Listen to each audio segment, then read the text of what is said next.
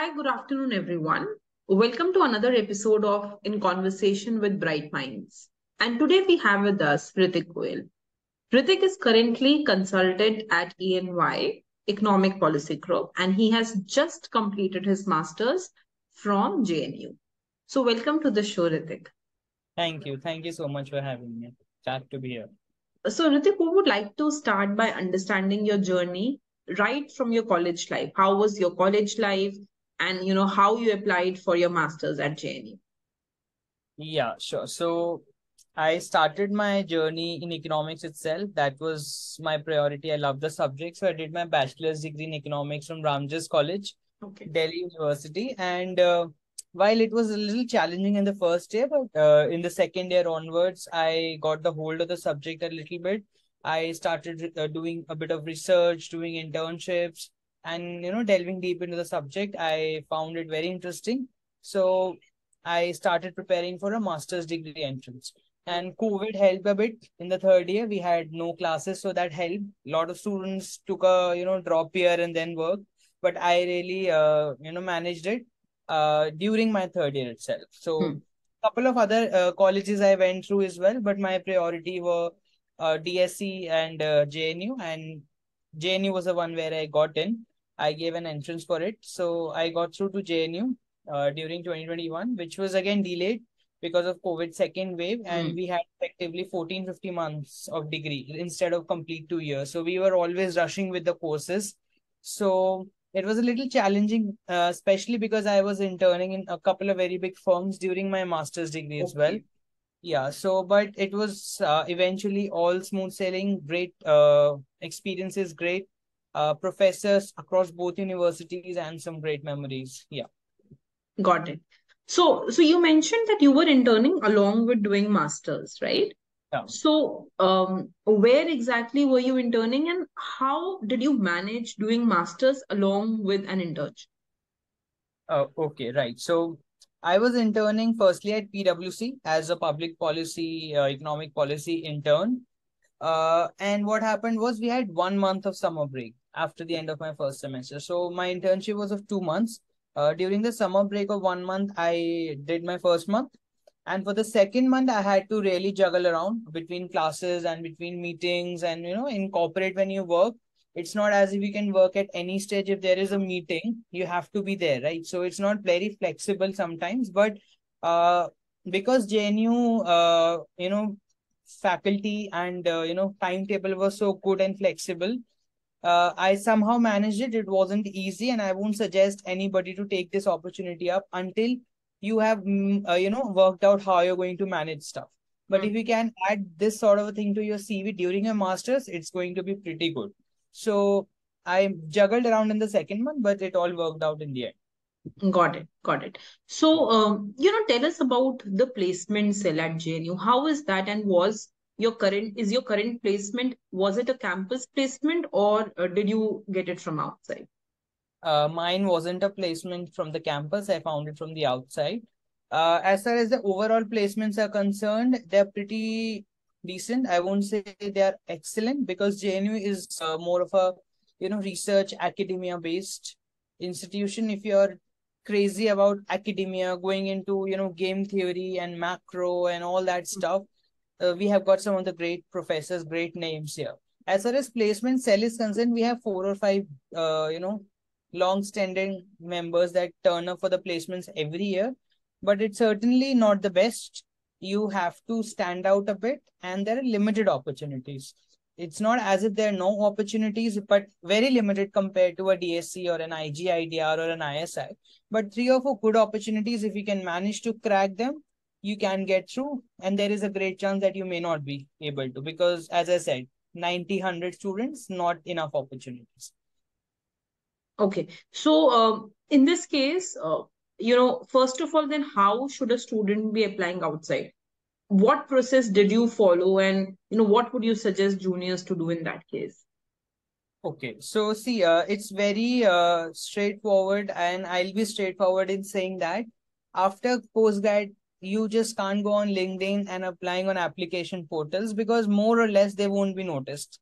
everybody knows that application tracking systems are very difficult to get through. Hmm. So what you need to do first of all is to prepare a very good CV. Hmm.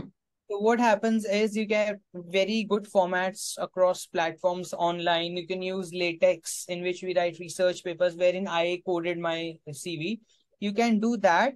Uh, take help from platforms. Use keywords for most economic students. Either it's data analyst or you know consulting or public policy. These are the main fields. So use keywords related to those. What kind of keywords are there? So prepare a very good CV. Second thing, a lot of these firms are looking for these days are projects. So if you can get a research paper done and published and use some sort of, you know, econometrics, some sort of software in it, that is going to help you a great deal. It helped me. I had a couple of very good publications in reputed journals in my graduation itself. Mm. In postgrad, it's difficult because, you know, PhDs, etc. are also competing. But if you can manage to get it, uh, even in your term papers, if you can manage to write it properly, that helps. That's the second thing. Third thing you need to do is, hmm, I would say it's the difficult thing, but if you can make connections through your internships. Hmm. So I did a couple of projects that helped me notice uh, my name. It's not as if I just sent my CV to anybody and I got through. Because I'd worked at certain places, uh, people realized that I might be a good fit for this kind of a job. And that's where I got through uh, as far as uh, getting an internship done, it's the challenging portion. I challenged uh, myself throughout my graduation and post graduation. I will message people on LinkedIn. I'll connect with them. I'll write cold emails to HR. One day or the other, you might get an opportunity mm. and just connect with people on LinkedIn. There's so many people posting about openings and all. So try if if your serious uh, ambition is to get a job, start working from the first year of masters. Try to get an internship. Try to get a project in and maybe keep applying all the time. At some stage, you will get through. It's not uh, impossible. Got it. Got it. Yeah. So, you know, when it comes to JNU, um, what what are the opportunities that it provides in terms of internship? Is it the same that you have to look for internship also from outside? Yeah, yeah, yeah. I don't think there is any dedicated method of finding internships through campus here. Okay do I see that the placement cell is quite active now on on LinkedIn and looking out for opportunities for students? Yeah, it is. It has become more active in the last two, three years, certainly more than what it was. And some personal reasons, some reasons there which perhaps are not very easy to, you know, uh, talk about. But over the years, placements have been tricky. Uh, earlier, we had very good placements, and for some reason, they became a little off. But in the last two, three uh, seasons, uh, our seniors have tried their level best. And it's mostly a student run placement cell. Isn't as if we are getting any fundings, we are getting any support. We don't have company connections as some of the other top institutes have. So it's mostly student run. So they're trying their best to take it to a next level. And I'm pretty sure it will improve in the next uh, few years. Got it. Got it. Sure. So, um, you know, then another thing that a lot of students ask is uh, when it comes to corporate jobs, should they be going for JNU SSS program or SIS program from the point of view of getting placed? Hmm. See, I haven't gone through the SIS courses, but it's pretty much uh, same. I mean, okay. for the last couple of years, we have been sitting together for placements. Hmm both Triple S and SIS. So it's not as if they have their separate placements we have. But a couple of companies, yes, they are free to bring their own uh, companies. We are free to bring our own companies, but more or less we are sitting together. Both have their own strengths and weaknesses in some respects. SIS may be a little more data oriented courses, a little more mathematical oriented, but it's not as if uh, Triple S doesn't have those courses. We have uh, pretty good courses of our own. So I think there is hardly any difference. But if you are very keen on doing all the courses, not from say a very theoretical, you know, uh, point of view, you want only the proof side of things. Maybe you can uh, do SIS, but there's not a great deal of difference. Okay. Otherwise, they're mostly the same. Yeah, they're mostly on you know international trade and uh, balance of hmm. payments. They focus a lot on on these courses. Got it. Got it. And what about the professors? Professors are also the same who teach the two uh, uh, students? Uh, that's something I cannot really comment okay. on because okay. I haven't gone through their professors' teachings. Mm. But a couple of their professors in labor economics and econometrics are highly revered. So they have pretty good professors as well, no doubt about it. Ours have left a legacy. There is no doubt about that. Got it. Sure. So, um, you know, another thing that I wanted to understand. Uh, so since uh, you know, you mentioned that the last year uh, when you were preparing for your entrance exam was the COVID period. So, Yeah. you know, how should a student dedicate that last third year along with doing their semester exams and along with doing the internals of the college? How should that one year be dedicated for the preparation of, uh, you know, various entrance exams? Right. So, uh, the challenge for MA Econ entrance is, is that vastly different uh, questions are asked across vastly different universities. So, first of all, you need to understand what your areas are. If you're big on corporate, if you're big on mathematics, if you're big on econometrics, you might shortlist a DSC, an ISI, or an IGIDR. But if you're certain that you, I want to go to academia, I want to do a PhD, maybe JNU would be a good option, or University of Hyderabad, and accordingly, you should start preparing. Now, there is a certain level of basic which you need to do, and there is nothing in the entrance that is asked which is not taught in Delhi universities or like I did from Delhi University, but uh, for other universities as well, 50 60% at least is covered during a second year. Exactly. Right. So, in the third year, what happens is mostly courses are theoretical, right? Indian economy, development economics, Hmm. what you can do with those courses is that you don't need to like you know do all the solving and practice all the time so you can like for micro and second year it's highly mathematical right macro Exactly. and micro you need to be you know consistent with prep but in third year it's not really the case and uh, you can then take those two hours extra out of every day's schedule and start preparing for your uh, you know entrance exams and you need to be very careful with the fact that uh different entrances, as I said, have different requirements. So you don't end up preparing only for one entrance because you Hmm. never know what will happen eventually. So take out three, four universities, target them, take two hours out. Nobody's asking you to prepare, you know, six hours a day. But give dedicated uh, dedicated time on weekends. Mostly colleges have uh, Saturday off in third year, and if you can do it, try to take uh, lighter courses. In third year, we Hmm. do have that option right? It's not compulsory to take all the courses. Take courses which require less hard work, less demand, because you anyway will study their extensive forms during your masters. So try uh, working around the courses as well if you can. Got it. Sure. So, Ritik, just one last question I have for you.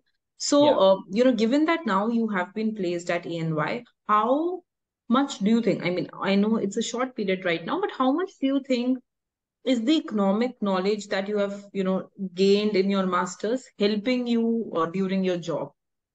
Uh, immensely, Okay. I would I would say because see, it's not in my corporate job. Nobody will ask me to prove Keynesian multiplier. That is pretty certain. If somebody is giving me a project that what should this state government do to improve their economic growth, I can't present them the ISLM model. That is for certain. But I should know from the classroom knowledge what kind of impact can monetary policy have on their interest rates what kind of impact you know improving their labor force or education or productivity so those sort of things maybe not ultra theoretical but certainly logical thinking some sort of econometrics definitely if you can do some sort of r or excel that helps a bit so it's not hardcore game theory or hardcore you know mathematics as such but definitely logical thinking and macroeconomics does help it. And uh, are you required to use any kind of, uh, you know, coding also R or Python, or is it a theoretical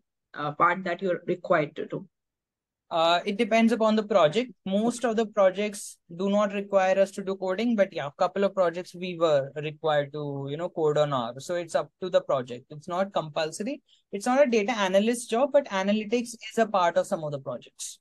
Got it. So, Yeah. would you suggest a student to gain this knowledge while doing masters, or uh, do you think that that can be taken care later on also?